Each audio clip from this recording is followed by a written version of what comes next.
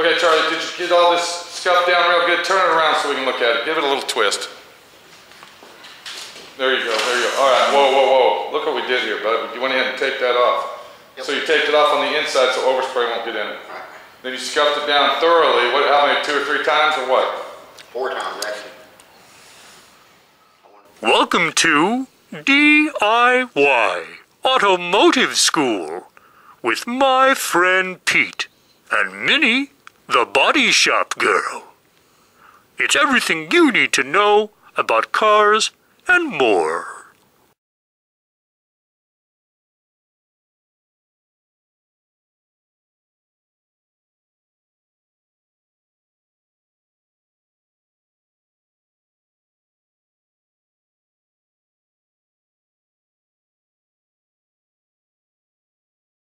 What Charlie did is he went ahead and taped off the area that's not going to be painted. Then what he did, he came back and he scuffed it down again with the gray Scotch-Brite. That's very important. Don't use anything else. The next step, if Charlie can hand me that, this is the key element for your paint to stick to your bumper, your raw plastic bumper, is right there, okay? Rubbing alcohol. That's right.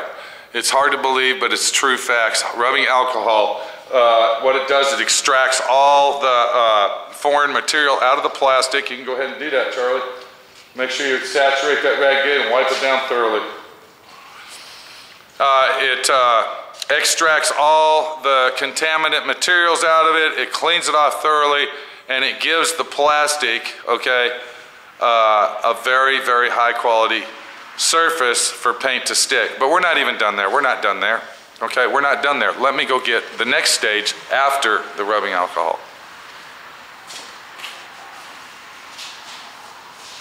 Okay, what we got here, okay, we got us a brand new bottle of adhesion promoter. Now what adhesion promoter does, it makes the paint stick, makes paint flexible, and it's ready to paint in five minutes, okay? But we're not done there. Because once I spray that on, I'm gonna go ahead and put two coats on it, okay? I'm gonna put two coats of adhesion promoter. This is very important when you're working with a bumper cover that is plastic, that is raw plastic, brand new bumper covers, it's very important. Use your adhesion promoter, it's very, very important, okay? I put two coats on of it and uh, then we're ready for paint. Okay, wait 10 minutes or so and it's ready. This is very important and it also makes your bumper flex. Okay, this is a flex additive for painting. So instead of adding flex additive to the paint, go ahead and put this on and you're pretty much done.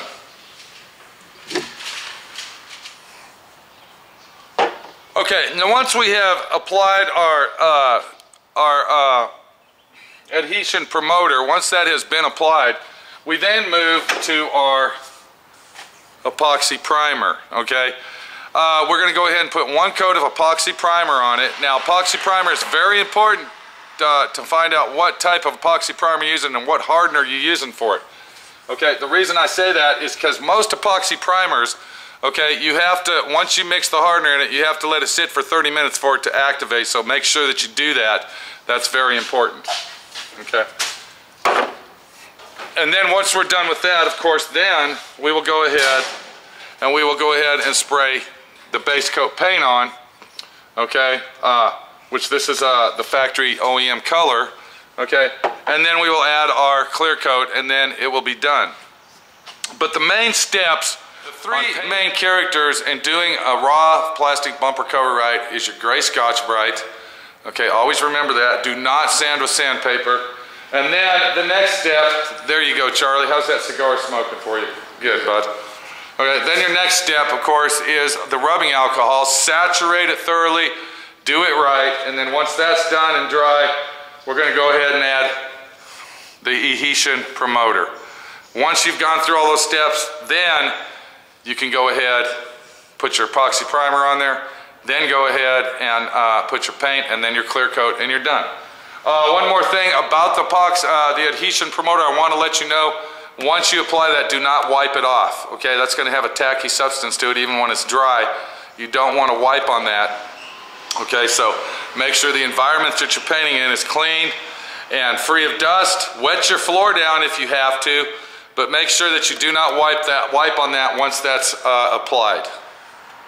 Thank you, Charlie. You can go put those away. Here's your, thank you. So that's one more tech tip, one more idea for you to know. Uh, bumpers are a big issue these days. Uh, front and rear bumper covers are a very, very big issue. And what I'm saying is an issue is that's your most common uh, collision that you're gonna have is your rear bumper or your front bumper cover. You're gonna either bounce into something, somebody's gonna bounce into you. Okay, bumper covers aren't that big of a deal. Bumper covers are an easy situation to fix. Okay, uh, this is a do-it-yourself at home type situation. You can actually do this in your garage. Okay, purchase a brand new bumper, paint the brand new bumper, and install the brand new bumper. It takes minimal hand tools and it'll save you tons and tons of money from the big boys sticking it in your ass and treating you like a fucking. I don't even want to go no farther. We already know the answer to that. Take it easy. My friend Pete, your friend Pete. We'll get a good look at this bumper when it's all done. I got to put the adhesion promoter on it. I got to put the sealer on it. Then I got to go ahead and paint it. Take it easy. We'll see you later. Charlie, what are you doing? All right, put that on the paint table, bud. I need it right now. See you later. Take it easy.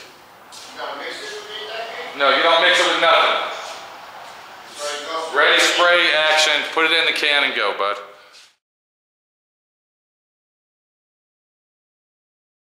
All right, how'd it come out, bud? Yeah, that nice. Look. And got a little scuff mark here. That's, that from? The dirt. Okay, there you go. And that's what I'm talking about. If you do it right, if you take your time, you use the right proper materials and the right proper procedures, you come out with a brand new bumper cover. Uh, one, two, three, easy, simple situation. You like the way it came out, Charlie? Yep. Let's go look at the carts going on. So you can go from this. You see what I'm looking at, Charlie? Huh? Yep. Look at here, bud. Okay. Little accident like that. Back her on in, Charlie. To that, with just a little bit of knowledge, a little bit of hard work, a little bit of elbow grease, and a positive attitude that says, I can do it. All right, come on, come on. There you go, come on. Whoa, whoa, whoa. That's good. All right, let's get this bumper on and get her done.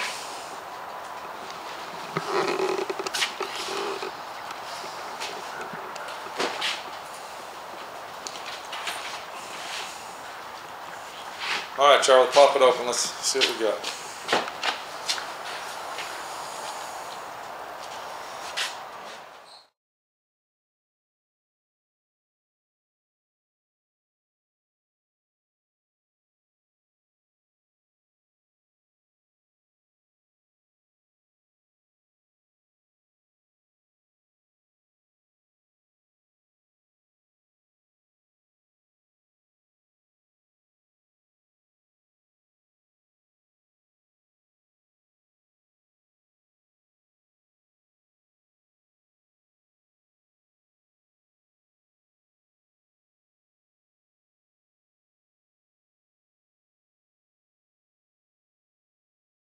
Thanks for watching DIY Automotive School. Classes don't stop till you know everything.